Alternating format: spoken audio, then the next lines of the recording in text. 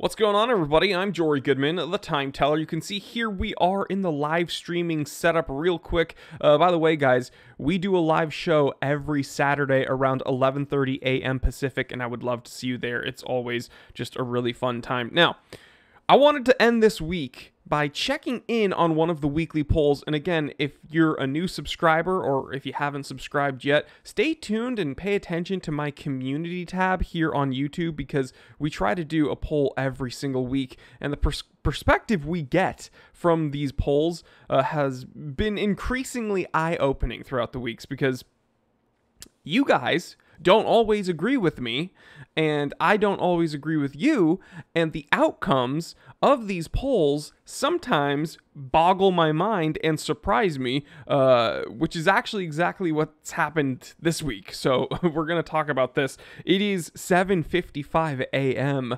Let's get down to business. As we can see here, I asked you guys, have collectors turned their backs on Rolex. This is not the outcome I expected to see. It is a close poll, um, but 50, uh, excuse me, 46% said yes, and 54% said no. A majority of you said no. Collectors have not turned their backs on Rolex. Why did this surprise me? Well, every time I make an episode about Rolex, with uh, increasing frequency, the majority of comments are negative about Rolex.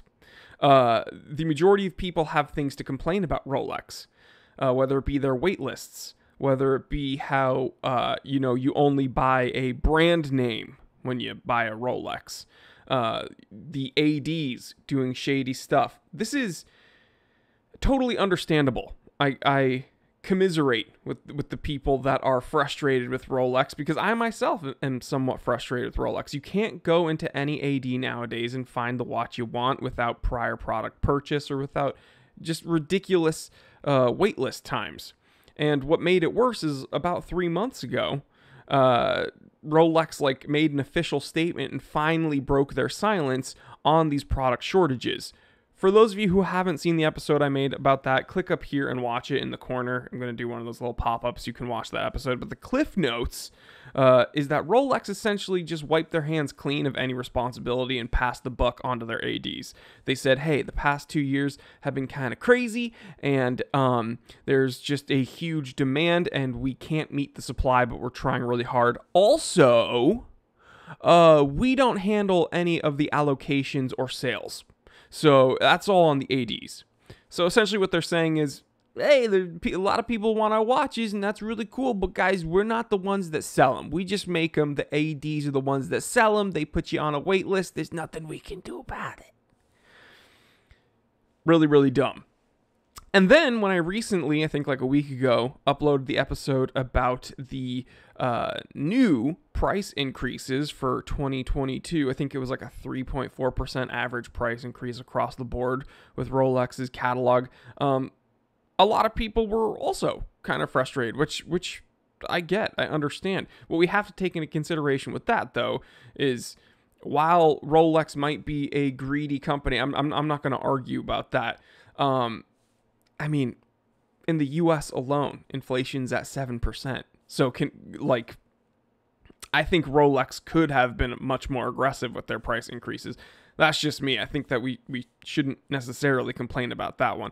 I think that uh, the fact you can't even get a Rolex at MSRP nowadays um, is the bigger issue. So the MSRP increasing is kind of irrelevant because you're not going to be able to find one uh, at the AD. But I've already complained about that back and forth, back and forth. So let's look into what the comment section was saying.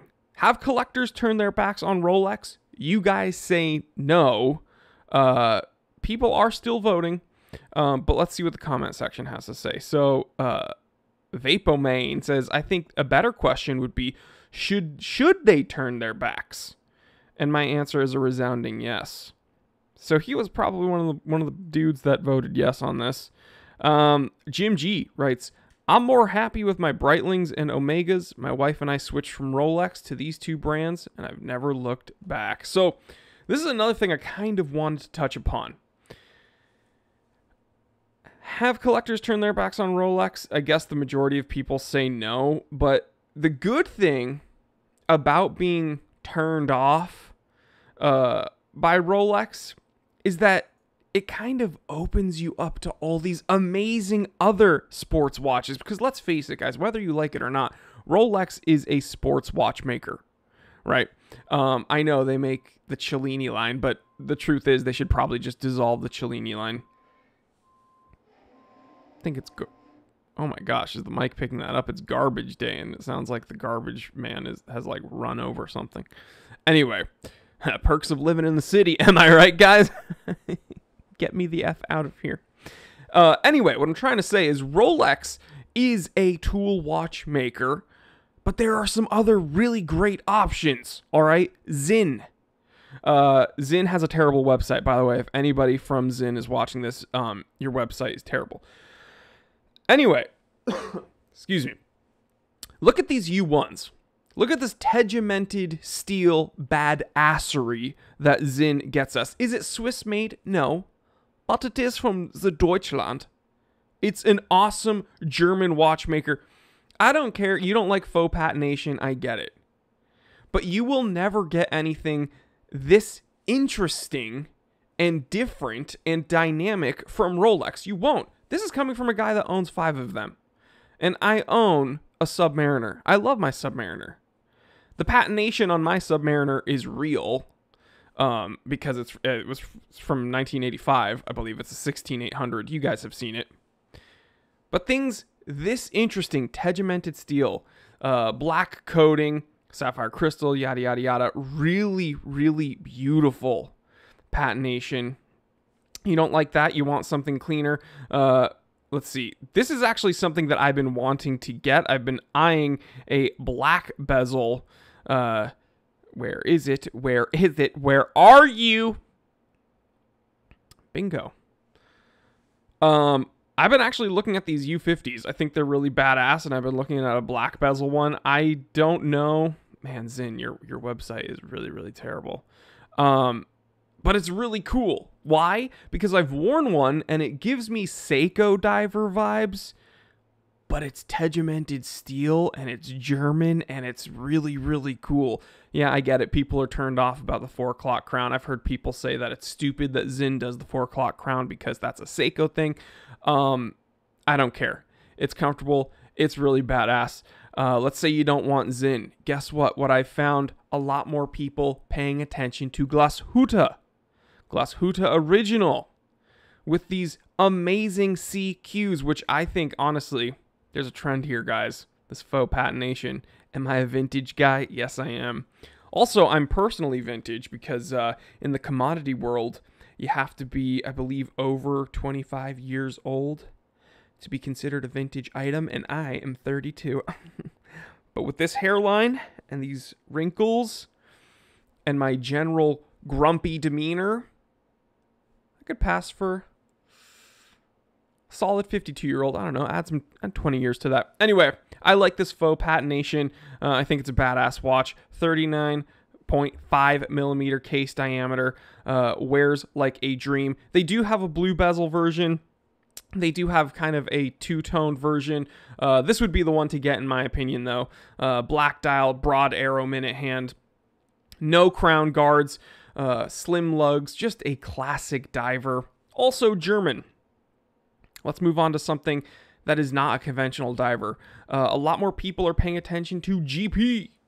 Gerard Perregaux with their Laureato. Beautiful watch. I've mentioned this in the past two live streams. I think this is probably one of the best watches to come out in the past two years. Uh, this Laureato Infinity Edition. Onyx dial, really beautiful applied gold tone indexes, uh, color match date wheel. Listen, I rally against these integrated bracelet angular bezel watches. But if you were to offer me an AP Royal Oak, even a Patek Nautilus, or this, this is far and away the most affordable. I would choose this. This Laureato, so interesting, so beautiful. Now that people are kind of jumping off the Rolex bandwagon, now that people are getting kind of I don't know, jaded when it comes to these luxury sports watches coming out from the Holy Trinity. People are paying attention to these other guys, and Girard-Perregaux is no slouch. I think it's really, really cool that uh, more people are talking about these things. And again, this is not a totally new watch. This has been around for a couple years, but this is one of the best watches to come out in uh, t- the past, I'll say, two years. The unfortunate thing is this is limited, and um, this specific variant is, you know, pretty hard to find. Moving on to the comment section. Eric, as a collector, I've turned my attention to Ball. I wish they'd get their deserved recognition for their quality and uniqueness not to mention, they may not increase in value, but they may maintain it pretty well. Again, guys, there are other tool watchmakers out there. We got to get a ball on the channel, by the way, guys. If any of you, Eric, I don't know if you're watching this episode, but uh, if any ball owners want to send me your balls, I can't believe what I'm saying. Uh, check it out, the P.O. Box. Um, email me info at thetimetellershop.com, info at thetimetellershop.com. Um, send me your balls. I would love to review it. Michael Clark, my most recent interaction with an AD was accompanying a friend who's getting into the hobby who was told he could possibly be added to a 10 year wait list for a blue Milgauss if he became a repeat customer of their attainable models first. I'm actually interested in the reply here definitely an educational introduction to the hobby. This is what I'm talking about, guys. People think I'm joking with the pre-product purchase. Um, no, that's I, I didn't like fabricate that. This is a thing. This is one of the sleazy things that ads they try to get you to grease the wheel a little bit. They're like, hey, you know, hey, you want this watch? This is a you know decades long wait list. I might be able to um find one in the back though if you buy a couple more of these oyster perpetuals. All right, how, how, how many do I have to get? I don't know, maybe uh, maybe buy like four of them, and we can talk. Yeah, let me buy four oyster perpetuals. Spend uh, what, thirty grand on a watch on on four watches I don't even want, and then maybe I can get the one I want. No, screw that. You're not Longa. You can't do that, Rolex. Chris Alvarez. The question is is collecting something unobtainable collecting or a clever way to save up save money up that you'll never spend? That's true. If you're going after a watch that is you can't even get and you keep saving your money, that that's um might not be a bad thing. You're just saving your money. Mike Howard, my last Rolex AD guy gave me no foreplay. It's a bummer, dude. It's all I'm telling you guys. If you want some tips from me, sometimes the foreplay is the most important part. Uh, expected me to swallow on me. Okay, this is. I shouldn't have read this online. That's gonna get me demonetized. Mike, why'd you gotta do that? I was making. I was doing a bit with you about it getting all nasty, and then you took it to another level. You took it to another. level. By the way, I still have this boo boo, guys. Put some ointment on it. For those of you wondering, uh, I am wearing a. Let me see if it wants to focus here. Uh, I'm wearing my G Shock Neo Tokyo because let's face it, this is a watch that you can get incredible bang per buck. Is it going to go up in price? No. Is it incredible? Absolutely. Mike Whitaker, Rolex isn't really in my sphere of watch collecting, but from what I can tell on the outside, no. Collectors haven't turned their backs on Rolex. They're good watches, overpriced in my humble opinion, with silly consumer culture and AD experience, but they're sought after nonetheless. Time will tell if that can continue. Very reasonable comment. Rod Salvador, love Rolex. As long as their prices keep going up, they'll be popular with collectors slash investors.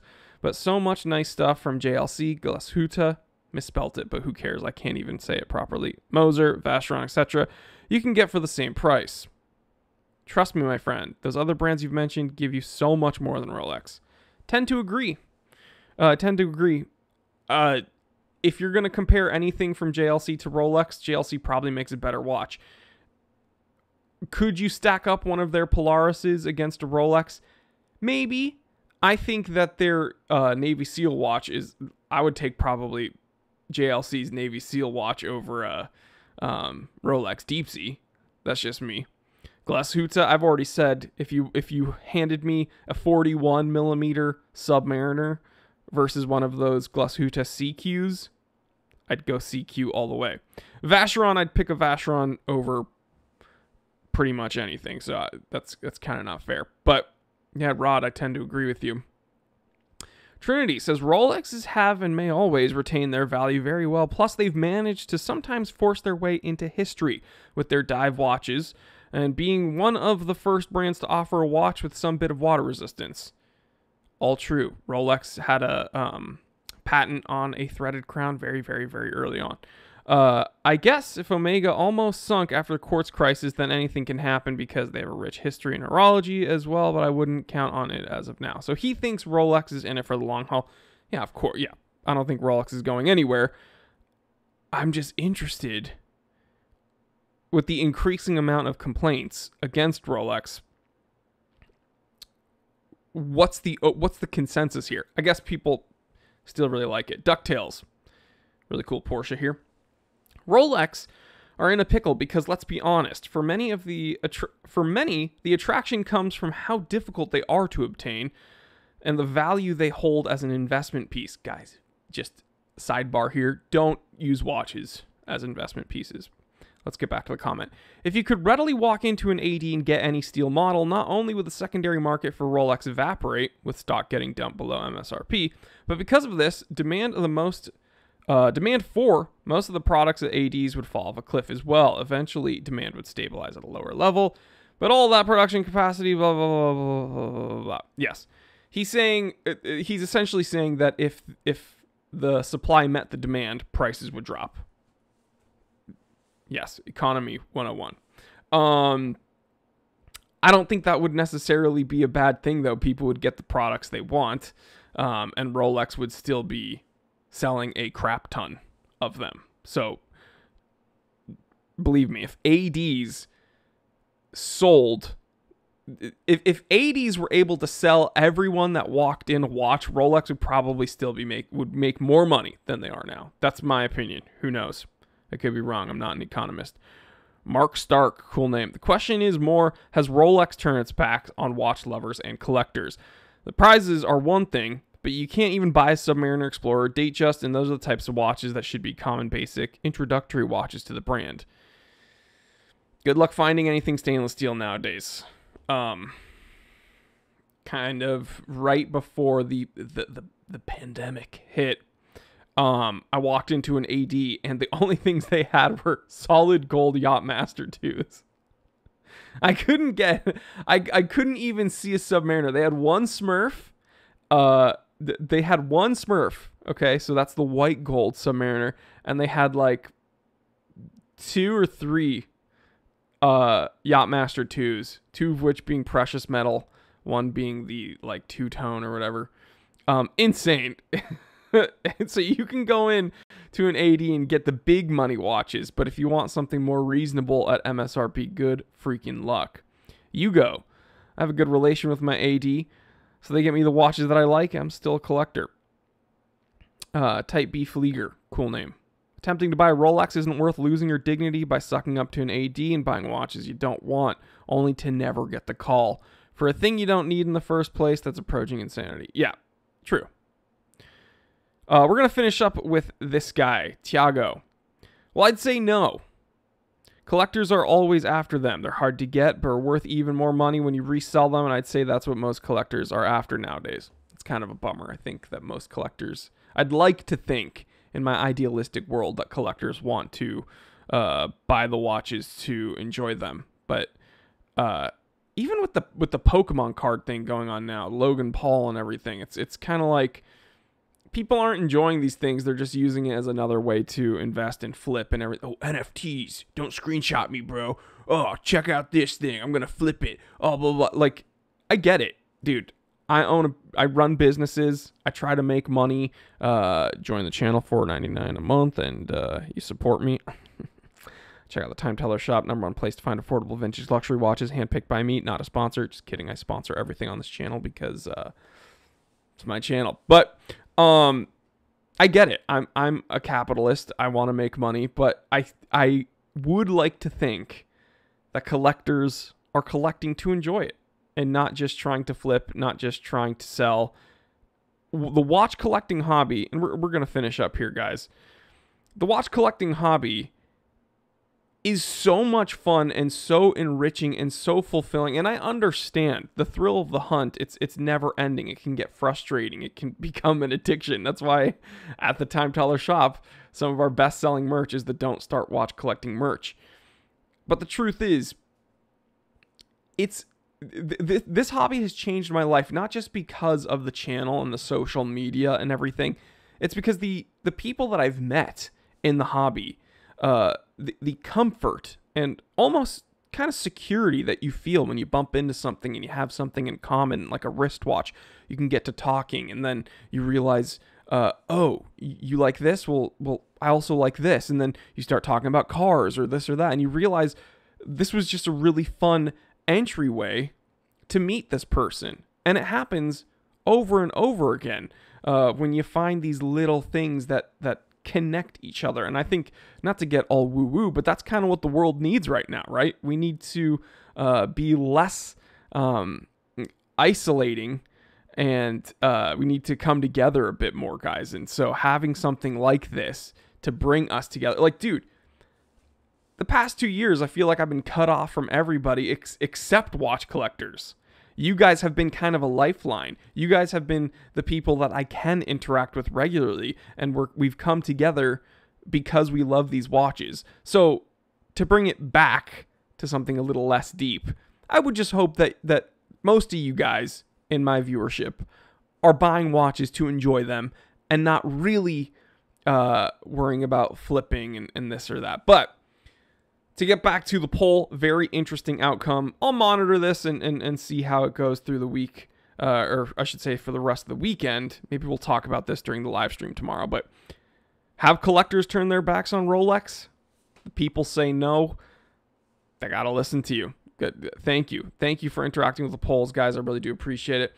Um, guys, we're going to end it here. Uh, I will see you on the next one. I'll see you tomorrow uh, for the live stream. Anybody that wants to join in. And um, yeah, stay happy, stay healthy, stay blessed. I'm Jory Goodman, the time teller. always remember, I didn't invent time. I just tell it. Love you guys.